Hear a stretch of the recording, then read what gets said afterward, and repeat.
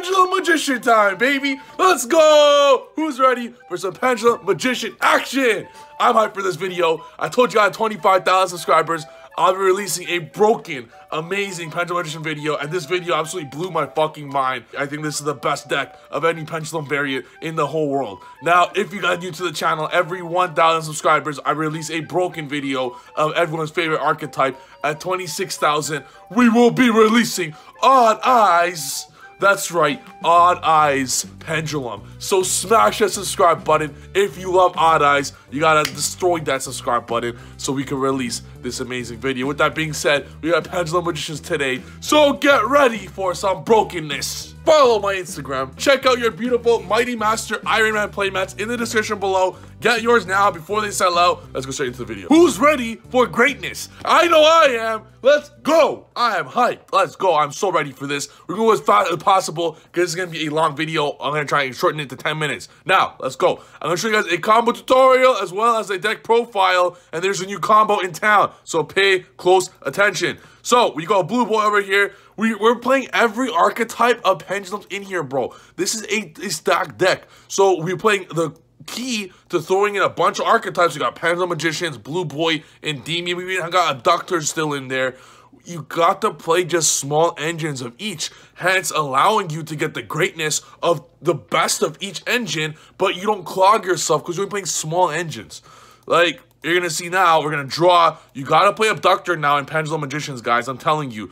So in Pendulum Magicians before, I was not a fan of Abductor because you have three Servant, three Mastery, and it could claw because of Oath Dragon. But now with only one Servant, all your spell cards are useless. Like, they're all useless if you don't open a Servant or a Mastery or an Abductor. You don't have Electrum anymore to get the Servant to your hand. So now you need to open that Abductor or else all the spell cards are just kind of, they don't get the most value. So I see here, we have Sloth. Now, it is very unfortunate to draw the Sloth because the end goal is to bring out the Sloth with LP. If you were to draw it, it's not the end of the world. So I thought, what better video to show you guys how to do this when you actually draw the Sloth. As I do the combo, I'll show you what happens when you don't draw the Sloth, which would be 99% of the time. But in the 1% you do draw it, I'm going to show you that you can still do a crazy combo. And this combo is going to end on an auto-win board that your opponent cannot play no matter what. And on top of that, you'll have five cards in hand. Like, that's insane. Like, this is without Needle Fiber, bro. We're going to use Abductor here. Another beauty of Abductor. You play all the Dark now. We, we, no one would see that play there. No one would see that you have a Pen Call in hand. You have a Duelist Alliance in hand, but no Dark Worm. So no one would see Abductor just searches the Dark Worm. Abductor's versatility is insane. This play wouldn't be possible without the Abductor. Here we're going to add the new Magician. We're going to add a Purple Poison because Purple Poison is the best follow-up to have. We're not too concerned with putting up 90 negates. We're concerned with putting up a board that the opponent can't really play. Maybe they'll spend their entire hand to get rid of it. And then you're going to have your whole 5-card hand to OTK your opponent into oblivion. So, the next line of play here, we just want a plus and plus and plus. That's the whole point of this deck. You just want a plus. Now, I'll show you guys the ratio of play at the end, which allows this all to be possible. But we are now going to go into time gazing. Now, I meant to put Darkworm over here, so that was a mistake on my end. Darkworm should be right under the extra monster zone right over here. But anyways, we're going to continue, over, but it didn't matter. Just in case, uh, you already opened the Blue Boy. But the reason being is if you want the Crowley and uh, put Crowley over there so you can still summon the two underneath it. But it doesn't matter where you put it. We're doing Masquerena here. The Masquerena will be kind of lost for nothing. But you, the extra deck is super tight. So you don't have a bunch of random generic link 2s anymore. We just have Crowley and IP Masquerena and you don't have space for any more because you got to throw in the whole Guardragon engine. You got to throw in the actual negates for Pendulum Magicians like Vortex, the rank 4, the like Dweller, the Dragster, Savage Dragon, stuff like that. So there's not really much space involved there. So here we're going to Pendulum Summon. As you, unfortunately, we couldn't Pen Summon the Empyrean Magician because uh, we needed a high scale, but we're going to plus as much as we can over here. So this is where our pen summon is. Unfortunately, the Sloth we're going to bring out another way. I want you guys to see what we're going to do here. So we're going to go into LP. Now, at this point, we're going to do is normally we just go into a Vortex and Apollousa. So you're going to have an Apollousa, a Vortex, a Mighty Master, and a Sloth. And that's game. You Normally, you'd have an Apollousa, a Vortex, a Mighty Master, or Jackal. So Mighty Master says Jackal, an Apollousa and a Vortex. And LP would bring on Sloth. Unfortunately, that we hard drew the sloth. So now we're going to do this play a little bit different, but it's going to help us plus a little bit more. So now we're going to bring out Destrudo, which is the second option instead of if, if you drew the sloth, and go into an Absolute Dragon. Now you have four monsters. Like I said, the board's going to end on an unbreakable board. So why would you why would you commit more stuff to the board when you already have an unbreakable board. So our goal here, especially with Emperor Magician protecting some cards, we're gonna have, we're gonna go so usually here and just draw for next turn. We're gonna set up next turn, we're gonna put the gate zero back because that's a neg one. If gate zero goes back in the deck, it's a free plus one that you're gonna get, and you still have desires and lots of other plus cards in your deck, allure, like, look at that. So you're just going to plus for next turn. That's the only goal here.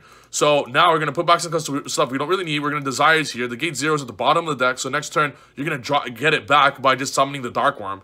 Uh, so you're plussing like crazy here. Uh, next, you're gonna you're gonna draw two. You're gonna activate Saryuja to special summon the Sloth, adding a 300 boost. You have an unbreakable board here in Mighty Master, Vortex, and Sloth, with Saryuja giving boost to every one of them, and uh, Emperor Magician protecting them all.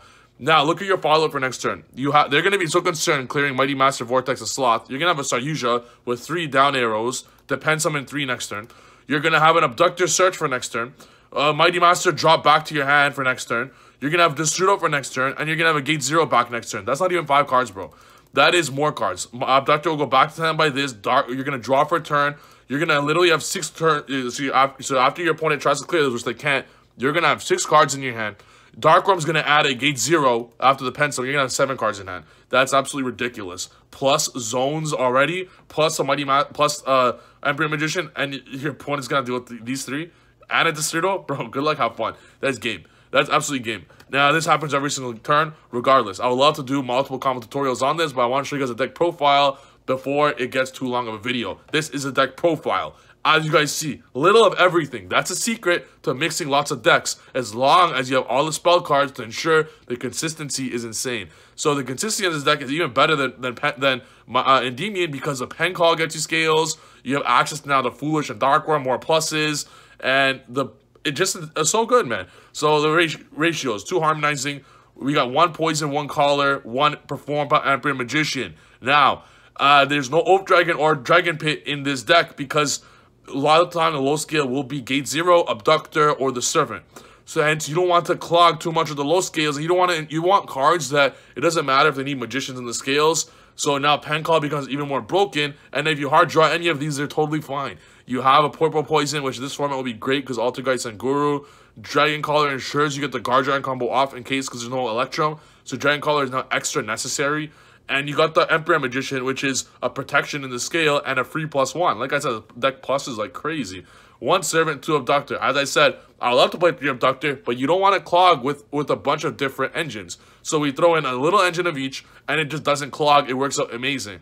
You just cannot brick with this deck. You could shuffle a billion times. It'll never brick. Thanks to the 21 spell cards, Blue Boy counts as a spell. Triple Chrono leaves a spell. You have 24 spells in this deck to make sure your six servant slash abductors resolve all the time. And with all the draw power you have, you have 11 cards here that say draw. Uh, nine of them say draw two. You end up drawing your side cards, Severe Lava Golem, Denko, Reboot, that just, just system down, that destroy the entire meta. So the deck's absolutely insane. I love it. Uh, one Mighty Master, one Jackal, that's all you need. We don't play Reflection in this version, only play Reflection in Pure. Triple Chrono, one Gazer, double Darker, one Gate Zero. I know you're playing Pen Call, but because of Abductor, and you don't always want to, you don't want to really draw the Dark Worm because you, your normal summons saved for the Blue Boy, and you still need to play the Blue Boy. Electrum's not as important anymore because there's no Electrum. Making a Link 2 before your pen summon is not uh, uh, be-all, end-all, uh, or no matter, or else you lose. You already have enough turbo cards because Abductor will get you the Chrono. So, before Blue Boy sucked because you have to make Electrum. But now Blue Boy's amazing because Crowley is the Electrum. So it is the whole end goal here. Uh, one Destrudo, one Sloth. If you banish one off the Desires, the plus cards in Pendulum is too important. Going second, so I still play them. And you only need one Gate Zero because, as you guys saw the Saryuja play, whether it's Vortex bringing back the Gate Zero to the deck, or whether it's Saryuja putting back the Gate Zero from your hand into the deck, regardless of the situation, uh, you're still getting the Gate Zero back to the deck to draw next turn.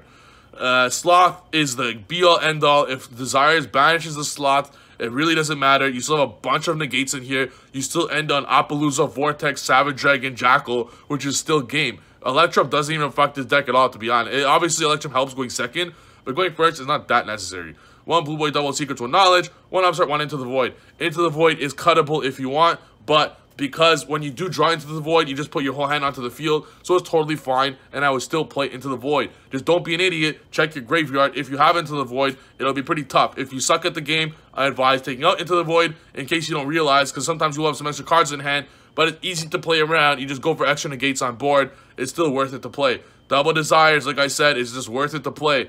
Uh, it's not extremely amazing because what if you banish everything, but it's fine. It's totally great. It's a plus one. I'll take it all day.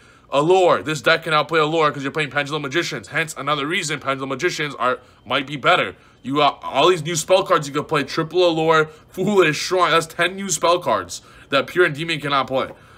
Uh, and if Cerberus gets Ash in the Scale, you can't play Cerberus in this deck because if it gets Ash in the Scale, it does hurt a lot. Triple Mastery, you need your four servants. Tri you play four Pen Call.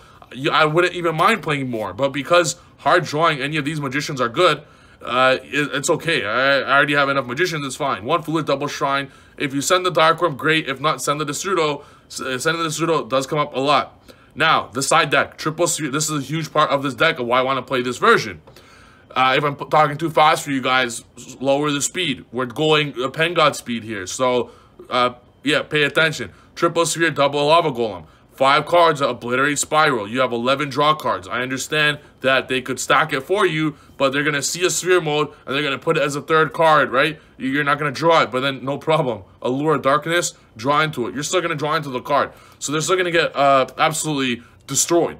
Uh, regardless. So Spiral is easy to beat now. Now against all the back backer decks, Denko and Red Reboot is just auto win. You got 11 draw cards. Well, you're going to have to what here's what you side out, by the way. A lot of you guys are asking what to side out, and Pendulum Magician shit's easy as hell. You know that you're gonna be playing Sphere Lava Golem, uh, so you, they require a normal summon, so you take out your normal summon. You take out these four for these five, and I'll probably take out, I'd say Into the Void. No, I'd keep Into the Void going second. Uh, anything you want, maybe even a Shrine, because you don't want to draw multiples. Anything you want at this point. I might, might maybe even honestly a, a Harmonizing Magician. Uh, whatever you personally, just one card that you don't. A slot. There we go. Oh, perfect. Going second, this is what you take out. Going second, you take out these five. For if you face against a combo deck, you put in these five. If or Lava Golem destroy the deck, you put it in. Now, if you're not playing combo deck and you face a trap deck, you put in triple Denko, Red Reboot, and an Archfiend Eccentric for these five. And it's just perfect. The synergy is remarkable. Now, if a deck does not get hurt by Denko, Reboot, Lava Golem, or sphere mode, that means the deck sucks and you already win the duel. To be honest, you don't even need to side.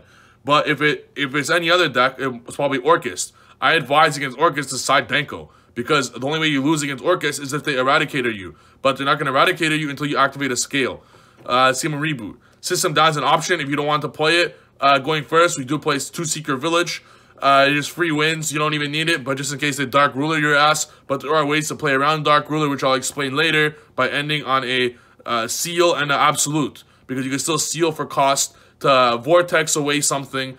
Uh, they can enter battle phase and attack or whatever. Uh, seal, absolute, you'll still get the vortex, the vortex bounce, the vortex negate, and you'll still get the seal effect in the grave. So even through Dark Ruler, you're fine.